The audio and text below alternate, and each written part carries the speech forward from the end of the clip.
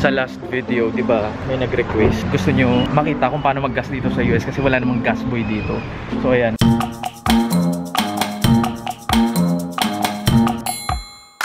Hey, what's up guys? For today's video, ipapakita ko sa inyo yung paggagasan. Dito na tayo ngayon sa gasolinahan. So, mabilisan lang guys.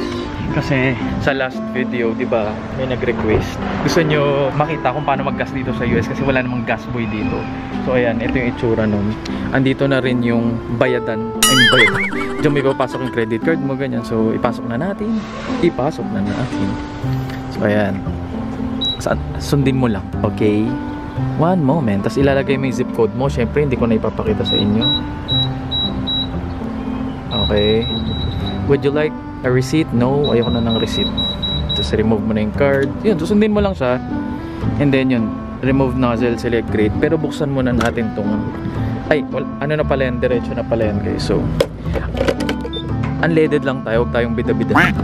Pang normal lang. Ayan pag nakapatong na yan dyan, pipili na tayo ng gusto mong ano. So, unleaded lang tayo. May naiwan pa ng resibo. Ano ba yun? ba diba? So, ayan. Gagas na tayo. Pindutin mo lang yan siya. And then, meron niyang parang ganyan. So, ayan. Mag-go na yan.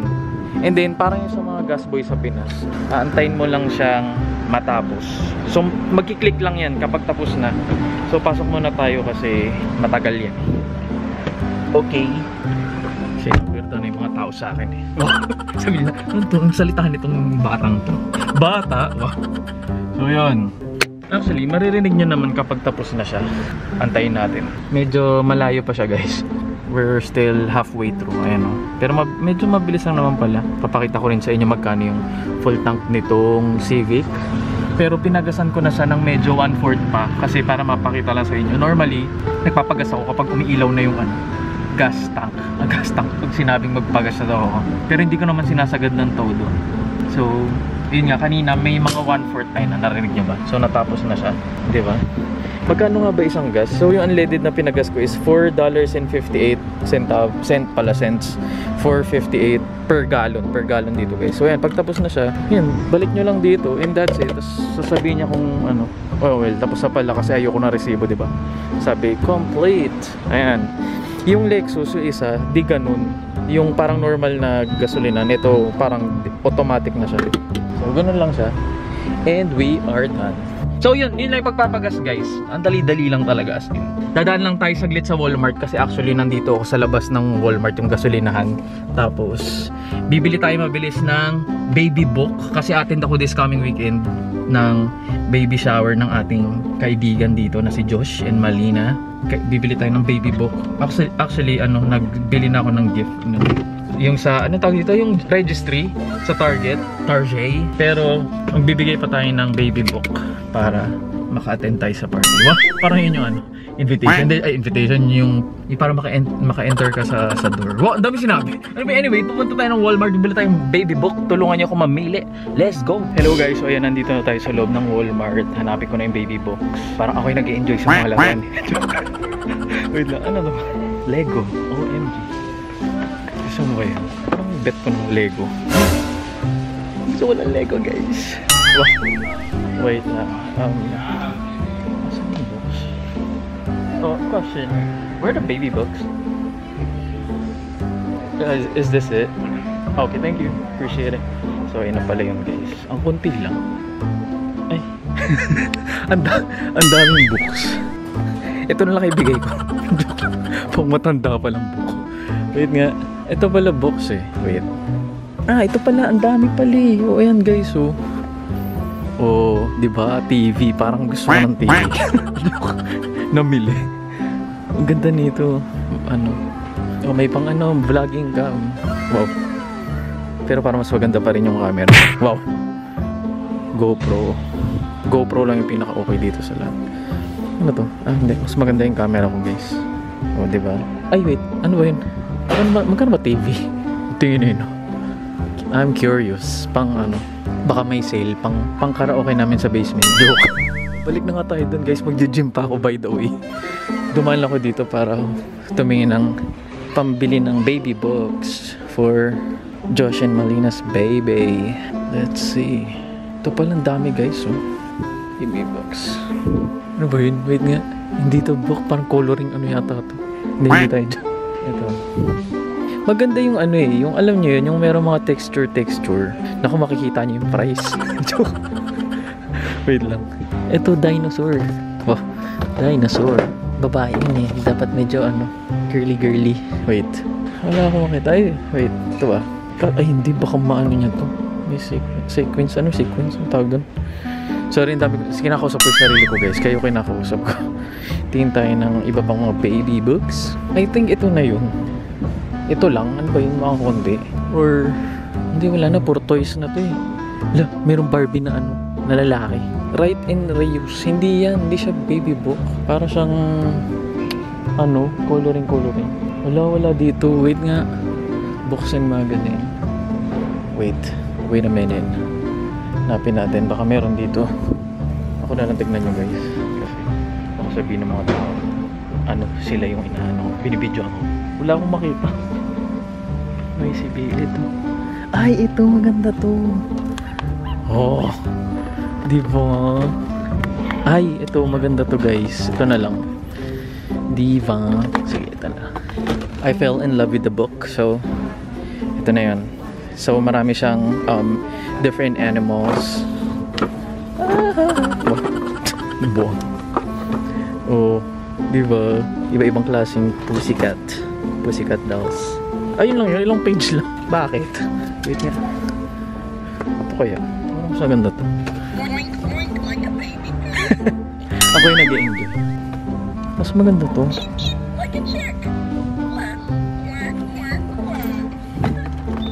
Hindi, mas gusto ko talaga to. Ito na lang. Okay, let's go. Bayaran ko na and then mag-Q&A na tayo actually. Um, I'm going to the gym. Feeling, kala naman. Yes, guys. Nag-gym ako, hindi lang halata. Dami ko sinasabi. Para kunyari cool kid. Wait, tara na. Kabayad na ako. Okay, see ya. Hey guys, what's up? Welcome back to my channel. Kung bago ka lang napadpad dito, ako po si Vince, Filipino living the American dream at gumagawa ako ng mga buhay America vlogs. Kaya kung hindi ka pa nakasubscribe, please click the subscribe button and yung notification bell para updated ka. Every time may bago kong upload, sinasagot natin yung mga comments nyo doon sa previous video. So yun. Ang bilis magsalita. Wait nga. Haba na ng buho ko guys. Pwede ba? Papagupit na ako mamaya. Kayo mag-alala. Oh, let's go! Felisa Ikarangal. Wow, Ikarangal. Napaka-kara... Ka, galang-galang. Oh, Kuya Vince, mag-apply po ako ng EB3 visa sa BDV Solution. Pricing nga lang siya, ha? Sana makapunta din ako ng USA. So, ganun talaga. Hindi siya libre. Medyo maglalabas ka ng pera kung may lalabas ka man talaga. Pero worth it naman siya in the long run, di ba? So, yun. Ano lang, tiis-tiis lang. Mag-save ka na, wag puro shopping. Felicia, ikarangal ulit. Hi Kuya Vince, ilang taon na po kayo nagstay sa USA? So dumating ako dito February 2019. Panoorin mo yung mga previous videos. Grabe, sobrang dami. Pero binge watch, binge watch. Nood din. Tsaka subscribe. Joey Vanessa Basco, thank you po. Napaka-informative po ng videos nyo. Favor please. How to reach out po kay Sir George Marino. Nabasa ko kasi yung comment niya. Nag-message ako sa FB. Pero baka hindi po yun yung account niya. Baka iba yung minessage mo eh. Thank you so much po. God bless. And more power. So shoutout kay Sir George Marino. In demand ka, sir. Magko-comment siya dito. Huwag ka mag-alala. Nanonood yun si Sir George Marino sa ating channel.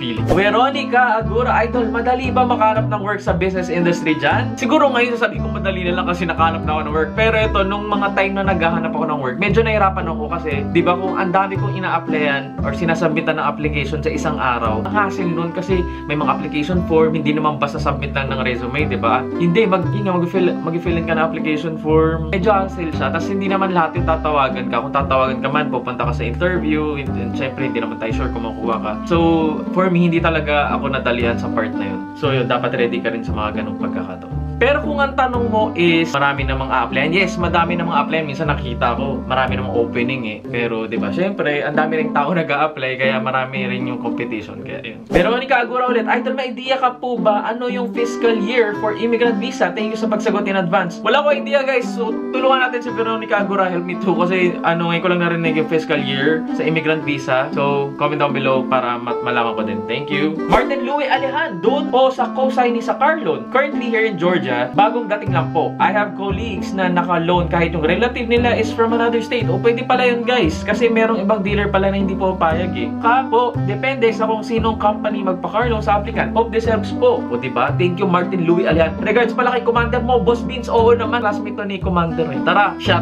Tara, shot. Inaya agad na inuman eh. Uy guys, baka sabihin niyo, alcoholic ako. So yun, Martin Luelan, shout out to you, bro. Friends and Jello Valladolid. Hello again, Vince. Approve na ang immigrant visa EB3 ng anak ko. Uy, congrats. Super saya at matutupad na rin ang kanyang American dream. I know the feeling nung dati nung na-approve na kami, parang nanalo sa loto. Alam mo yun? So, I'm happy for you at sa, sa anak mo. Again, thank you very much sa'yo at sa mga videos mo. Welcome. Walang anuman.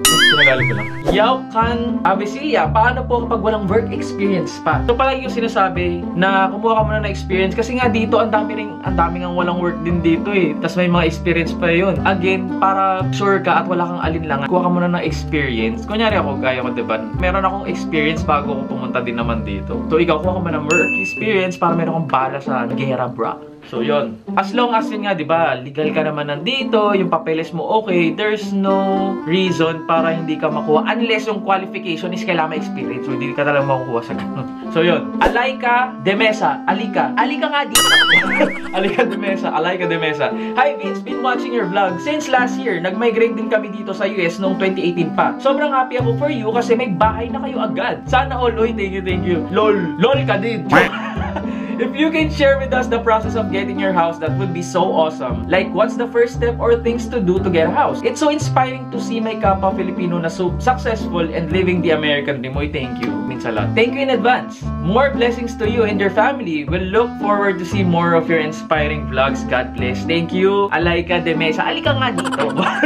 so, yun. Um, baka medyo hahaba ng todo yung video. Pero sige, yung next video natin, ilalaan ko para sa question na to. Kasi ang dami nagtatanong sa akin, whether sa personal message, sa Instagram, or dito sa YouTube, ang dami nagtatanong paano daw yung process ng pagkuha ng bahay. I-share ko ulit. Alam ko meron akong previous video about it. Kung wala, hanapin mo. Joke hindi. Pag gagawa ko ng video ulit ng mas malinaw, i-detail natin kung paano yung experience ko para sa'yo at sa mga ibang nagtatanong. Okay, Alika? Alaika. So yun, thank you. Like and subscribe. Kasi haba yung editor ko magagalit. Ang haba na ng video pero sige, bibilisan ko lang. Don't worry again, Alaika, sa mga gusto ng yung ganong content. Next video natin, yun. Last video natin, ang gusto, magpagas daw ko. So, ayun yung unang part itong video na to. Nagpagas tayo kung paano magpagas dito. Kasi nga, walang gas boy dito. eh. So, Aliza Lectao. Hello po Kuya Vince. Thank you for inspiring us. Sana po matulungan niyo po ako in the future. Anong tulong? Sarili ko hindi ko matulungan. Joke lang. Tapusin ko lang po muna yung pag-aaral ko at makapagtrabaho. Correct. Keep on motivating us and God bless you po and your family. Thank you. And again, sabi ko talaga doon sa sa mga previous vlogs ko at palagi ko sinasabi na as long as merong yun nga, nanonood dito at as long as meron ako na-inspire, tuloy-tuloy tayo and so thank you rin sa support. Aliza Lictao. God bless you too. And your family. Shout out to you guys. Lictao family. Next. Kwento ni Taba. Hello, boss. Ang haba nito ha. Hello, boss. Kumusta? MMK ba ito? Kumusta ka, boss? Long time no vlog, boss. Hehe. But anyway, okay lang yan dahil 15k.1 subs ka na. Mapapasyana all ka na lang talaga. Sa akin channel, di na gumagalaw. Ano ka ba? Ganun din ako, bro. Dumating ako sa point na sobrang bagal talaga nung... Until now, nga tamo nga 2018 pa ako, non-stop ako nag Well, nag-stop ako ng one month ba nung last year. Pero tuloy-tuloy ako nag-vlog talaga since 2018. Kung babalikan mo, I doubt merong nakapanood na viewer dito ng lahat ng vlogs ko. I swear, hindi, hindi ko alam ha. Meron ba sa inyo na nakapanood ng vlog ko since first vlog until now? Hindi ko alam. Baka meron. Pero kapag meron man, grabe salamat. Pero anyway, alam ko yung pinagdadaanan mo. Uh, kwento ni Taba. Ano ba pangalan channel? Kwento ni Taba. Pero yung nakakatawa. Ang taba ko din kasi. anyway, so, alam ko yung nafe-feel mo. Anyway, si vlogger, caregiver po ito ng Israel na babaka sakali din na makalipat din dyan soon. Gusto ko lang makapunta na agad dyan at dinadasal ko talaga ito in God's will. Di- Ano, dasal lang talaga. Basta naka-in process na matutuluyan. Kasi natatakot lang ako maabutan ng US visa retrogression. Process na docs ko pero it takes time and years bago makarating dyan. Sana di magkaroon at di maabutan ng retrogression na yan. Ikaw boss, any idea sa retrogression? Bakit nagkaganyan before. Kaya dapat sa mga aspiring applicant na katulad ko din na nangarap makaapak ng US, dapat now talaga mag-apply. Now na mag-asikaso papunta ng US kasi di natin alam kung hanggang kailan sila tatanggap papunta dyan at baka magkaroon ulit ng retrogression na yan. Medyo malawak pala kapaligiran dyan sa bahay mo, boss. Maganda pag magpalipad ng drone dyan. Hey, ganda ata ng view lalo na if malapit ka sa lake or dagat. Hey, suggest lang mas maganda at mas okay kuhaan mo dyan, boss, sa inyo ng drone shot para kita lahat ng kapaligiran. Salamat. Wow, ganun. Wala akong drone. Ay, may drone pala ako pero display lang dito sa, sa studio. As na rin, boss, if may idea ka ba na tinatawag nila visa bulletin, pwede pa enlighten if pwede. Ba, ano yung backlog na tinatawag? Bakit nagkakaganyan? Sa US at bakit sa ibang bansa wala namang ganyan salamat at ano din ang current at ano ga- gagawin kapag ganun na? So hindi siya yung retrogress naman yung meaning bumabalik yung di ba may date yun? Kapag yung visa bulletin. Doon sa website ng USCIS may visa bulletin may date yun. Retrogression means parang nagbabalik yung dates. Kunyari di ba pag nag-apply ka meron kang priority date. Kung baga nag-apply tayo meron kang date na ibibigay sa'yo kung kailan ka nag-apply yun yung priority date. Tapos retrogression means kapag yung mga pinaprocess nila kasi backlog yata eh, meaning sobrang daming nurses or yun nga mga hindi lang nurses pala I mean lahat ng mga nag-apply for immigrant visa ang dami nun. So and yearly meron silang cap or meron silang limit na aaprubahan lang nila. Kaya naglagay sila nung mga date na ganyan. Sa sobrang dami nag-apply nagre-retrogress sila. Kasi kunyari akong family based petition ka kaya sinasabi nila more than 10 years ang tagal ng antayin kasi sobrang daming gustong mag-migrate sa Amerika eh. Syempre nililimitahan din naman nila yun na hindi naman lahat talaga papapuntahin dito all at once di ba? All at once. So, katawa um, di ba meron tayong kilala, iba-iba merong 5 years sinatay, 4 years, iba 10 years kapag family-based, lalo kung more than 21 na yata. So, yun, kaya nagre-retrogress. Kwento ni Taba, yung retrogression naman, palagi nagkakaroon ng ganyan before. Nag, na ganyan din kami, nung, nung ni Commander. Di ba, nung nung date na namin, sabi namin, tayo na yung susunod na, ano, parang next month tayo na yung ipaprocess. Biglang nag-retrogress yung date. So, parang, OMZ. Abangers mood na naman kami. Ganun talaga. It's a matter of, you know, perfect timing uh, in God's will or in God's perfect timing. Makakarating ka rin dito. Kapag current naman yung date, meaning kapag current na siya, ibig sabihin lahat ng dates, regardless ng priority date, pwede na kayo mag-apply. So, yun, sana malinaw yung pagkaka-explain. Kung hindi, let me know. Pag-usapan natin siya sa mga susunod na vlog if you want. Yun lang, boss, katanungan ko. I hope mabasa mo at masasagutan ito at ma-shoutout na rin ako. Laingat lagi. Jan, keep safe. God bless. Shoutout to Kuya Tony Tamba. Thank you so much sa malanobelang tanong. Wow. Kasi sa susunod na vlog natin yung ano eh, process ng pagkuha talaga ng bahay simula sa planning stage up to the buying stage. Wow. Marvin Joseph, tama po yan bro. Vince, keep it up lang po. I really want to thank you a lot cause dahil sa inyo, naging buhay na buhay po ang American Dream ko. At isa po kayo sa nag-encourage sa akin na panghawakan ko lang ang American Dream ko. You're really such an inspiration, bro. Uy, thank you, thank you, Marvin Joseph. More and more Buhay America contents to your channel. God bless you, bro. God bless you too, Marvin Joseph. As of now, 15.1k subscribers na po kayo. Congrats ulit. Uy, thank you, thank you. Video call soon, sure. Video call. Ano, mag-set tayo ng schedule. Let me know kapag pwede ka, pwede ako, diba? So, yan. Harold Badwa, 15k na pala. Walang bibitaw road to 100k subs. Harold Badwa, thank you, sir. Maria Rachel Roman, hi Vince, thank you sa pag-upload ng video about job hunting in USA. Thank you, may idea na ako. I will continue to watch your vlog. Keep inspiring your viewers to motivate their American dreams. Lagi ko tinatapos video ko, Kuya Vince. Oy, salamat. Oy, grabe na-appreciate ko talaga kapag tinatapos niyo yung vlog, promise. Kasi siyempre, hindi naman, hindi rin madaling magsalita dito mag-isa, no? Alam mo daw magsalita, kausap ko kayo. It makes me happy too. Wow, naiyak pala. Joke. So, yun. Thank you. God bless and stay safe always. God, God bless you too and stay safe and say hi to your family, Maria Rachel Roman. Ian Adupe, USA bro, thanks for mentioning me. Ingat palagi, God bless. O Ian Adupe, God bless you too. Pag bumisita ako dyan sa saan ka nga ulit Qatar ba? Dubai bro? So, alam na.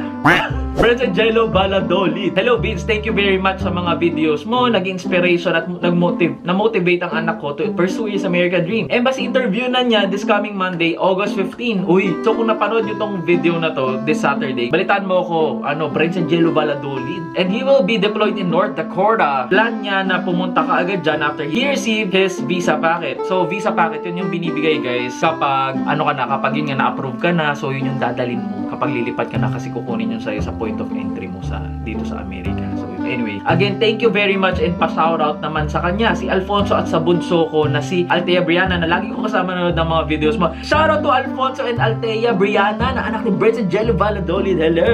Congrats in advance! Diana Wiza Sestina, paano po malalaman kung hindi scam yung site na pupuntahan po pagdating sa pag-research ng mga trabaho sa Amerika? Check sa POEA kapag mag agency ka. Actually, yun nga, check mo sa POEA kung legit naman yung agency. Kasi di ba pag nanonood ako ng Tolfo, legit yung agency pero sablay yung ano, yung pamamalakad. Eh, I don't know, pero pag nanonood talaga ako ng Tolfo, guys, RTIA, hello pala kay Idol, Senator Idol Rapi Tolfo, Idol! Ang tunay na idol. Wow, kala mo makakaabot sa kanya pero hindi. Palagi ako nanonood ng, ng RTIA, guys. Pumunta ka sa LinkedIn na lang. Sa LinkedIn, Glassdoor, or Indeed.com. Nandun naman nakalist yun eh. Kasi ang mga nagpa-post doon is yung mga HR na naghahanap nga ng mga maia-hire nila. So, feel ko yun yung safest. John Paul Manabat, Kuya Vince, na-miss kita. Nakalimutan na tuloy boses mo at ngayon na maririnig ko na naman. Oh, wag clingy mo, sir, ah. so, yun, thank you, thank you, John Paul Manabat. So, that's it for today, guys. Thank you so much for watching. Sa mga tumapos ang video, if you're still watching up to this point without skipping, maraming salamat. Kung hindi ka pa nakasubscribe, please click the subscribe button. Ito, bell icon. Nag-upload ako every Saturdays, 12 to 1 p.m. Manila time. Like, comment, and share this video. Mas makakatulong yon para dumamit tayo. Also, please follow me on my social media accounts. Lalong-lalo na, yun na nga, TikTok, Instagram. Lalong-lalo na talaga, guys. Sa Instagram, TikTok. Kasi career mode tayo doon. Wow, tapos, yun nga, may Facebook din ako. Twitter. And magkita-kita tayo sa next video. Peace!